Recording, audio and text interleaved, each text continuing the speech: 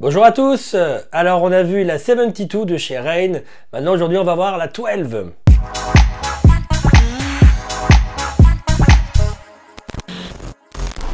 Alors bien entendu, elle peut être utilisée avec ou sans la 72, vous n'êtes pas obligé. Hein. Euh, vous pouvez très bien avoir un contrôleur euh, normal. C'est un contrôleur, ce n'est pas une platine il n'y a pas de bras, il n'y a pas de cellules. Ça contrôle entièrement Serato DJ.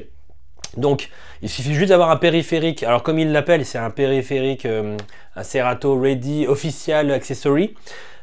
si vous mettez une carte son Rain, enfin en tout cas tout ce qui peut être certifié, vous voyez ça sur le site de Rain au préalable, donc contrôleur, euh, carte son, table de messagerie, carte son, tout ce qui est certifié. Vous branchez ensuite la 12 et vous prenez le contrôle de, Serato euh, directement avec. Alors, bah c'est tout simple. Hein. Vous avez votre bouton on-off comme ça, comme une patine vinyle traditionnelle. Vous avez deux forces au niveau du plateau, à savoir une petite légère qui pourrait s'apparenter, on va dire, à une Technics, et un gros couple qui lui a plus compliqué quand même à ralentir et qui s'apparenterait à tous les coupes qu'on voit sur les dernières platines à 4,5-5 kg. Voilà. Euh, le disque, et c'est vraiment très facile à monter. Vous voyez sur le petit schéma, euh, il y a le petit truc euh, à visser avec le disque à mettre. Vous mettez votre feutrine et vous mettez votre plateau. C'est vraiment, franchement super, super, super facile à faire.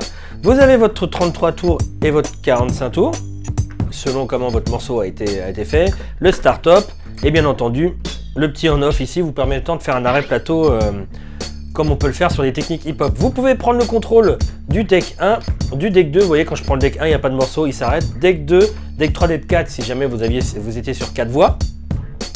Vous avez ici le touch strip qui est super agréable. Alors au début je disais ouais bon c'est un peu loin tout ça, c'est pas très ergonomique. On a plus l'habitude d'avoir les hot tout ça devant. Mais bon c'est vrai que là ça va. Il y a quand même des séparations ici. Alors forcément ça modifie la musique. Il y a quand même des séparateurs ici. Et on peut difficilement, je pense, se tromper à la fois au niveau de la navigation, vous voyez. Je peux naviguer dans mon morceau comme ça rapidement. Ou à la fois quand je me mets au cue Vous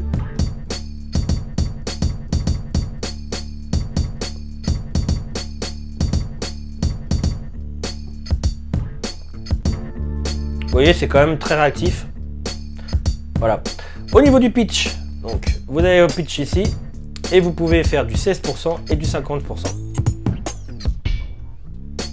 Avec ou non master tempo si vous avez euh, un, guidage, de, enfin un accès direct au master tempo sur votre table qui est, je sais plus euh, du tout, transport qui est ici il me semble.